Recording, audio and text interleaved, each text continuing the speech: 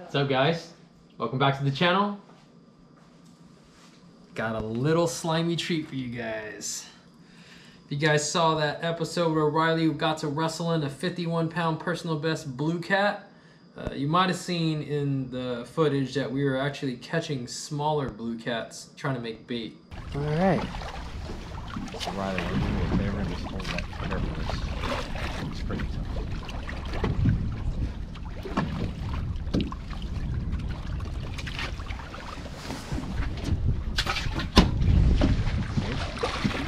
These smaller blue cats uh, make for great eating fish, so we're gonna serve them up here with our friends, Bobby and Chris. Finally made it to Florida. About time. Yeah, yeah, finally. I just filleted some of these guys. I'm gonna leave a couple of these whole. We're gonna throw these two on the grill. Uh, we're gonna do some good old fried catfish. And this is gonna be interesting because I've never had blue cats. Have you guys eaten blue catfish before? Never.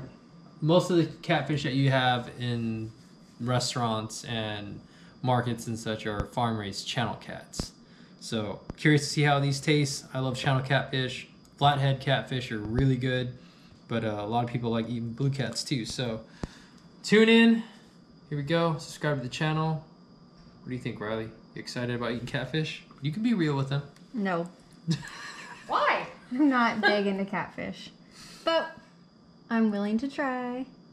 Part of the experience. We'll see how he can make it taste good. No faith. Uh-uh. All right, guys, here we go. Tune in. So I just saved you guys the uh, hassle of watching me fillet some of these smaller ones. And we're gonna grill a couple of these. So I actually just took the head off, gill and gut.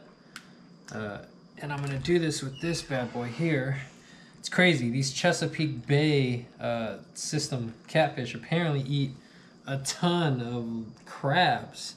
Like its guts are full of these little micro crabs. It's so cool. I wonder. I I have a pretty strong suspicion this is gonna have an effect on what they taste like. Here, I'm gonna cut this open and pull. Look at this. Look at that little crab. Little pinchers and all. Wow. Isn't that crazy, Bob? Yeah. When when we're eating fish like sheephead and stuff at home that feed heavily on crustaceans, uh, they tend to be really good eating fish. So I have a strong suspicion that these crab-fed blue cats are going to be good. Uh, but all I'm going to do is gill and gut, pull the guts out of this thing, uh, and we're going to throw it on the grill. I enjoy eating fish on the bone uh, more so than fillets, to be honest. I think it gives you a deeper flavor profile, and you tend to harvest more of the of the actual flesh. So look at that, guts full of crabs. And then we're gonna sever the head just to make cooking easier. So I've cut it down to the vertebrae on both sides. Then we're just gonna break its head. Be careful for those sharp dorsal and pectoral spines on these blue cats. Oh boy, it's a little slippery. Ah, he gonna be all right. Do a little twisty motion.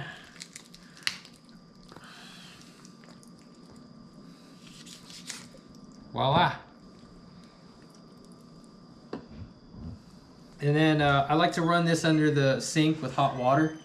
I learned that trick watching my grandma back in the day. Uh, it helps take the slime off easier. And uh, we'll just scrape the, the skin and that'll stay on for the cooking process because it peels off way easier once the fish is cooked. But that's it. What do you think, Zeus? It's your namesake. It's a Zeus fish.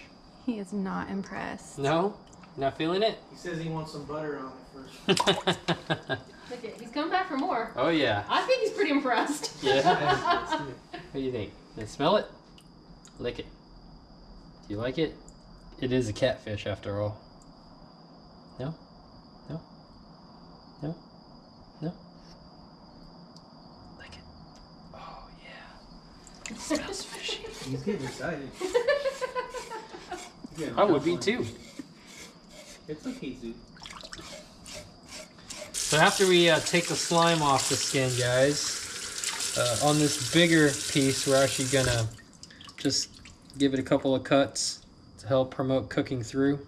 So just a couple of cuts like this down to the vertebrae. It'll help it cook evenly in along the same pace as the smaller Z. one. Z and I are BFFs now. Yes, you are. All right, and just like that. All right, Bob, let's fire up that grill. Alright, let's do it.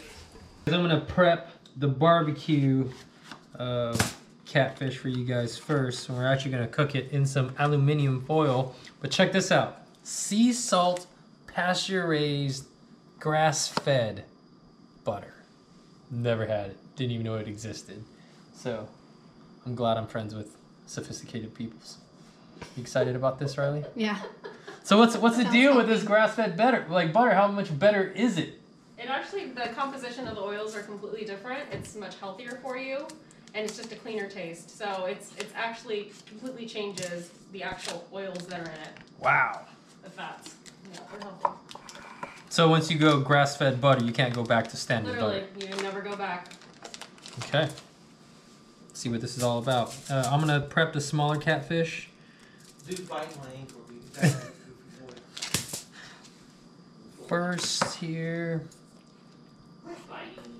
So we're just gonna lay them down in the foil. I'm probably just gonna break this grass fed butter He says I smell like a watermelon. into two pieces. That's why he's so happy. And we're just gonna hit it with some fresh ground pepper. Some garlic salt, Lawry's. Some fancy lemon pepper. You want to grab it out. Is it coming out? Yeah. Okay. It's a very technical application.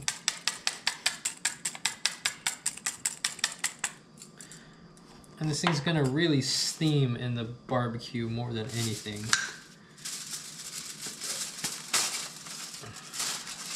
Take our aluminium here. Gonna wrap it up. Close the crease. Just gonna lay that on that hot barbecue. I went way too big. You did good.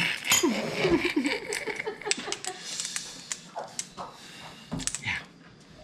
Yeah. I need help sometimes. It's a fact. All right, Bob. You want to throw these on? Fire's still getting ready. Oh, is it? Yeah. Okay. Well, we'll set this aside. Almost there. Cool. That's ready to go.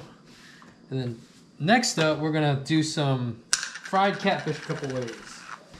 So I've got all these catfish fillets, and we're just gonna cut them down to to size here. We're gonna eat big chunks today, so I'm gonna split these smaller cats into twos. Oh, forgot to take the skin off of this guy. I've seen some pretty wild catfish skinning procedures through the internet, but I skin them just like I do any other fish. Helps to have one of these fillet away fish mats. Keeps the mess off of Chris's kitchen. It gives a little bit more grip. You take that skin right off. Just like that. Cut in half.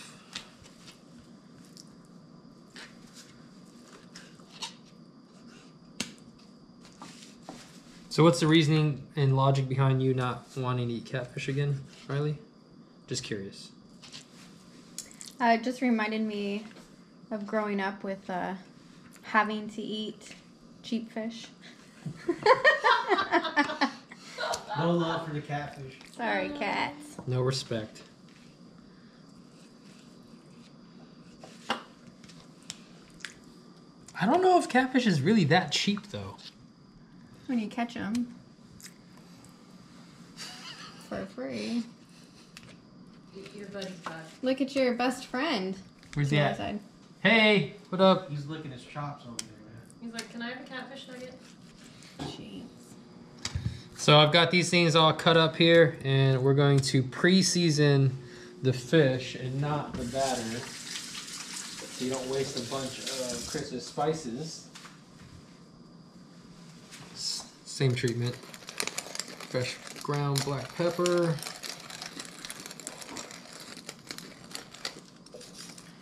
Some garlic salt.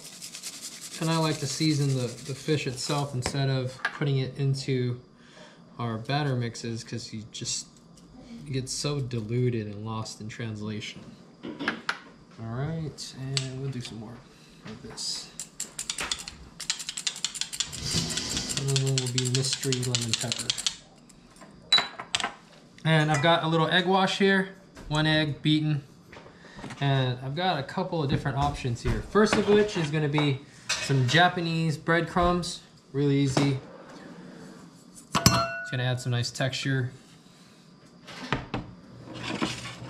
And you're just gonna take your, and actually you can actually mix up all your fillets to get even coating of spices that every bite of fried catfish has got some flavor to it.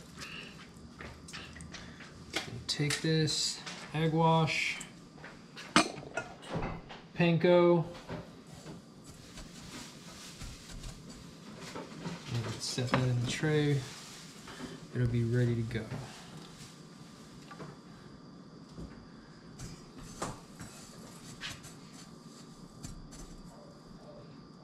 Panko is a, a little bit lighter of a breading option than most of the pre-made fish batters.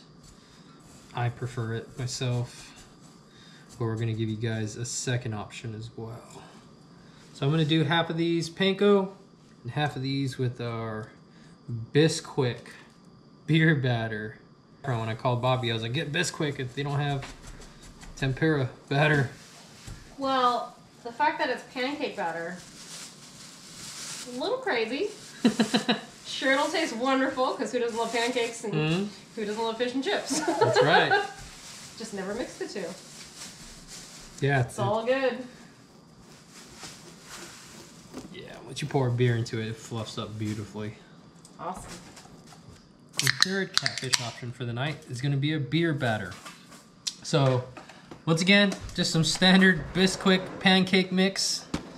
Your favorite beer. I like a medium weight beer myself. Get that in there. Find that consistency where it sticks to the fish. It's not clumpy, but also doesn't just drip right off. So that's looking close. Mm-hmm.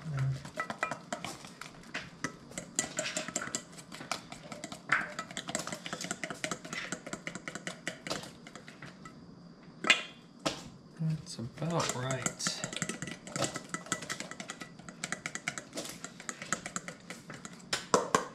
And there you have it. Okay. When you guys are frying fish, make sure you guys are picking an oil with a high smoke point. Peanut oil's great for this dairy application, so kind of doing like a shallow fry instead of a deep fry. But looks like I can get about a half inch or so peanut oil in there. That come to temperature and we'll be ready to rock. All right, guys, we got this peanut oil up to temperature here. We're gonna lay that in there. Oh yeah. That's gonna cook really fast. These little catfish are really thin. It's not gonna take much to cook them. And always remember to lay the pieces in there away from you. And as you drop these colder fillets in, it's gonna affect the temperature of the oil. So that's gonna bring it down pretty quickly. That first one is pretty much good to go. We're gonna let as much of that oil drip off. We use um, paper towels when we have to, but I do like using the metal grate. Allows the oil to drip away from the fish. Yeah, I wasn't kidding. That, that, that cooks fast. You don't want it to burn. You can see the difference in color just from the temp swing of dropping those cold fish fillets in there. Had those fillets on ice since we uh, caught them. You're good. This is a real video. This is not a Hollywood production. But golden brown, that's actually kind of the color that I like right there. Fish is cooked for sure. And our panko batch is pretty much done.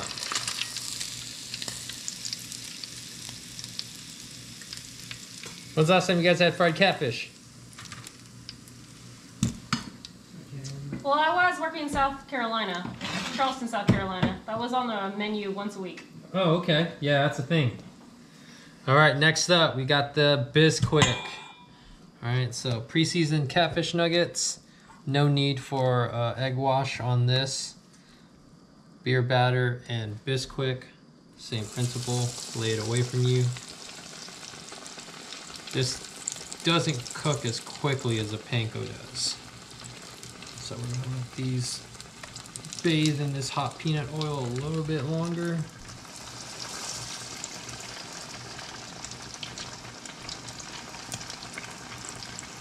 Yeah, I bet it was probably channel catfish I'm sure. because it's the most readily commercially available. It was a little earthy. Was it? Yeah. But uh, I, I feel like it has a lot to do with what they feed those farm raised fish. Which is probably like processed liver pellets and such. Real appetizing, I know. But we've got crab fed blue cats here, so I'm hoping my theory holds true and that that's going to affect the flavor of this catfish in a positive way. Um, Chris, can you do me a favor? Yeah. Can you help me flip a couple of these while I continue to season? We pull a small fish off? Yeah, probably, Bob.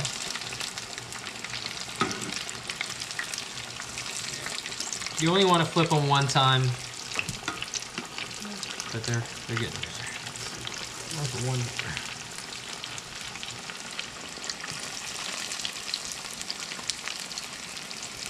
See how it puffs up? Mm-hmm. That's that pancake action. Coupled with the beer. Yep. So just some asparagus, very simply made. A little olive oil, threw some shaved parm on it, which creates um, an extra element once it goes in the oven, crisps up, and it provides the salt content and just a little bit of pepper on top. It'll go in for 350 for about 10 to 12 minutes based upon the thickness of the asparagus. Tell them.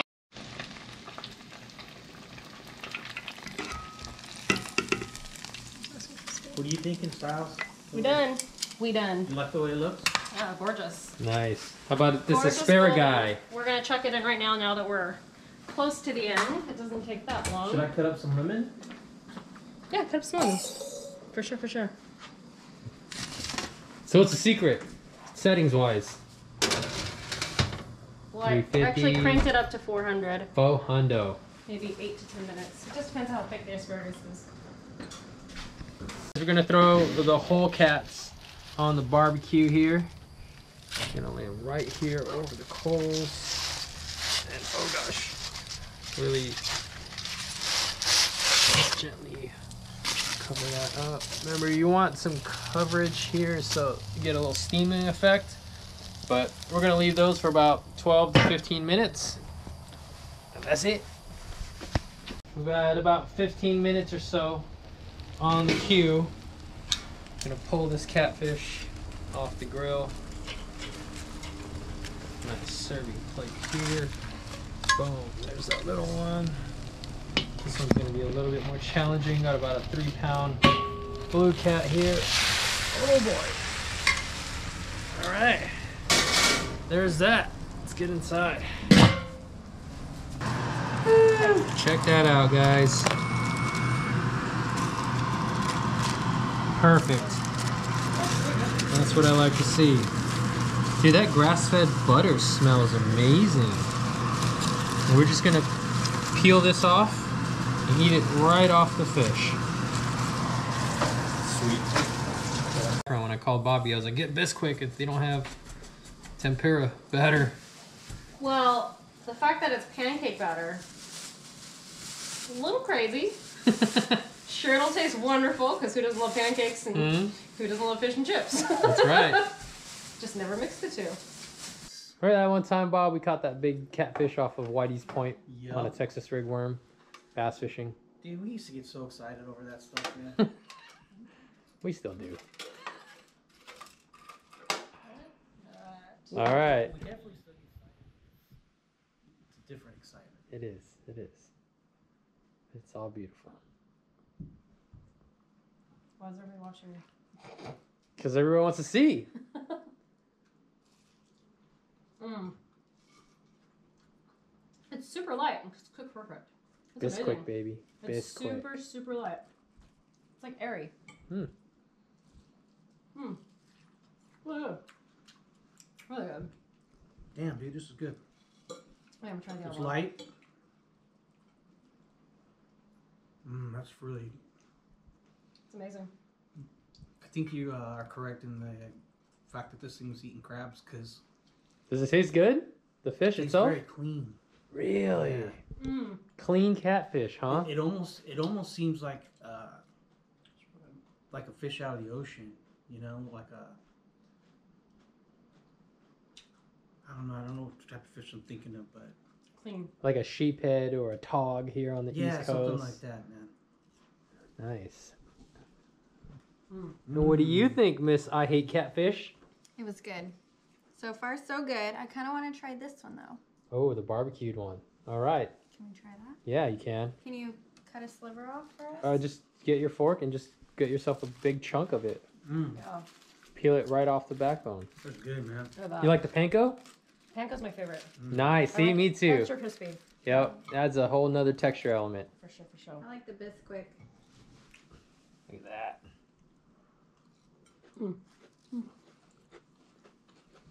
This is actually barbecued. I mean, it was cooked on the barbecue, but Oh, it, okay. I mean, it was probably closer to being steamed. It's hot. No, I just got thrown off by barbecue. I thought you put barbecue sauce on it. I was like, what? That's a negative. No, sir. Negative. So what did you put on this thing? Uh, we got some grass-fed butter. Mm. All right, so you're probably gonna get more of that on the bottom pieces of the fish. Uh, we got So some lemon of pepper, fresh ground black pepper. Yep, just get in there, Bob. Just take that whole piece, man. We got two fish in there. Ready for you. Okay, babe, how do I do this? So this is where the rib cage is. So, like start where the lateral line would be, like right along the spine, and peel that whole chunk off. Here you go. See, see that big chunk that wants to come off? Mmm, that's good, dude. It's actually pretty clean for a catfish. Because most of the time catfish kind of have like this weird lingering Yeah. flavor. Yeah. Definitely that? cleaner. Yeah, take a take, take a bite right there. Okay, okay. Hooking up. I'm just sweating my lines. I'm just That's good. Really? Look at it. She's actually surprised. She's shocked. It's actually good. Give yourself some crab-fed catfish with some grass-fed butter, That big bake, you're gonna be good to go. Big bake, Uh, So easy, Riley could cook it. all about that. Maybe. maybe in the future. Anyways, thank you guys for tuning in. Hopefully you guys enjoyed this catch and cook. It's a unique one. Unique That in how we caught them. Unique in what they were It's eating. all about that one moment. And uh, thanks to my friends for hosting us here in beautiful South Florida. A little bit nicer weather, as you can see from our attire than where we just came from. So, Yeah. catch you guys on the next one. PP's in a 17. Bye, guys. Heavyweights, the whole dream team. To some pub, did my own thing. Started in a rental, now I'm fishing on a you a keyboard player, my man, that's hella My track is Itch to bet you catch fish, get him in the net quick, cast for another stick. That real deal, raw uncut, still chasing PBs, cause it's never enough. My track is Itch to make you catch fish, get him in the net quick, cash for another stick. That real deal, raw uncut, still chasing PBs, cause it's never enough. Medium light, graphite for the subtlest bites. Some bright blue skies, not a cloud in sight. It's dynamite when I drop, and the school ignites, pinning them down on the